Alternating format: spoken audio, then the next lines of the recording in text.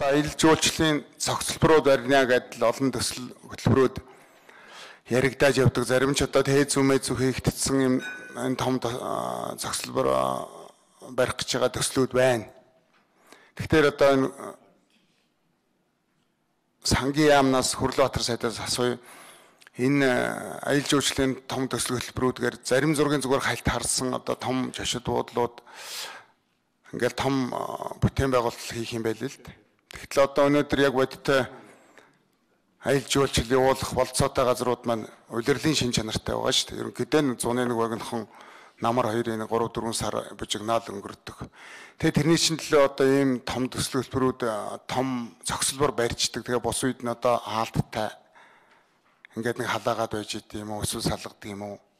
Тэгэхээр энэ дээр ямар нэгэн ер нь ийм том төсөл хөтөлбөрүүд байвал ер нь байгаль орчны яамтай хамтраад аялал жуулчлалын зохицолбор гэдэг ойлголтоо ер нь энэ ийм төсөлгөлбөрүүд хэрэгжүүлвэл төсвөөс хөрөнгө оруулалт хийвэл яг юун дээр нь хийх юм тийм барьж байгаа бодлого байна уу? А хэрвээ байвал зүгээр би нэг санаа байгаа юм.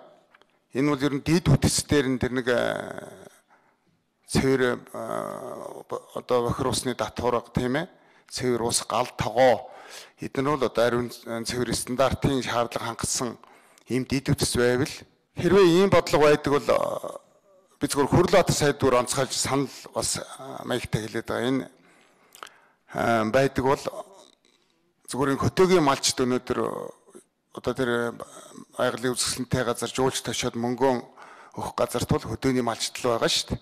Тэр малчтад энэ жуулчтаас орж байгаа орлого одоо хүртээмжтэй байх хэрэгтэй. Тийм учраас малчтаа хамруулад одоо тэр орон гэр барих ажлуудыг бол малчтаа нэг стандарт гаргаж өгөөд гэр бариулаад дундах тэр нэг дид үтсийнх нэмийг одоо төсвөөс хийдэг нэг тийм одоо нэгдсэн нэг бодлого нэг ийм э, бизнесийн нэг ийм загвар гаргаж ийм болохгүй юу. Тэгэхгүй л одоо зарим нэг газар нь явж байгаа л нэг хитэн тэр умаар нэг том юм барьж явдаг. Тэгэхээр сүүлдээ нэг үлгэр жишээ нэг яриа болно ш. Тэнд нэг ийм том зөкслөөр барьсан. Одоо тэр өвөл хавар ингээд төгжээтэй хөвтөж байна.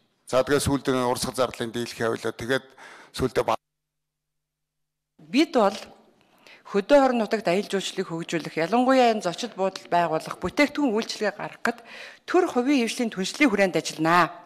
Төр зардлаараа зочид буудал байгуулахгүй хувийн хвшлигэнтэйгээ үнийг булаацалтахгүй харин энэ томоохон зочд буудал байгуулах тухайн орон нутагт аялал жуулчлалыг хөгжүүлэхэд худалдаа үйлчилгээний чиглэлээр дэмжих чиглэлд бол бид ажиллана. Өөрөөр хэлэх юм бол таны саяны хэлдэг тэр дид үтцийн чиглэлд газар олгох, зөвшөөрлөг нөгөх зэрэг зам дагуу үйлчилгээний цогцлбор барих зэргийн боломжийг нь бүрдүүлэх суурийг нь тавих чиглэлд бол бид онцгойлон анхаарч ажиллана. Энэ чиглэлийн төсөв мөнгө ч гэсэн санхүүжилт бол ингээд үе шаттай суугаад ингээ явж байгаа.